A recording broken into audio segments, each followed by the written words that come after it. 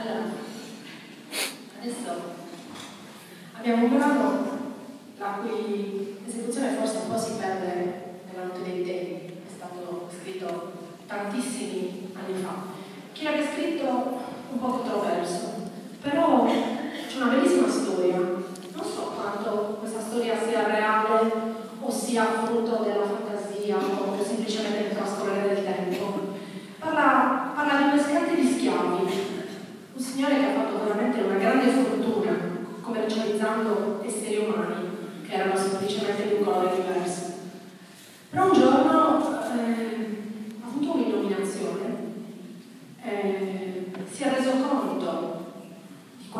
succedendo, del male che stava facendo.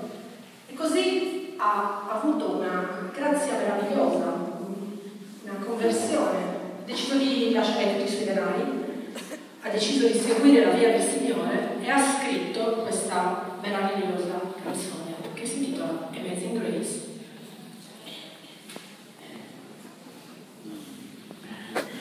Maggiore 22 dicembre 2013, Coro Gospel,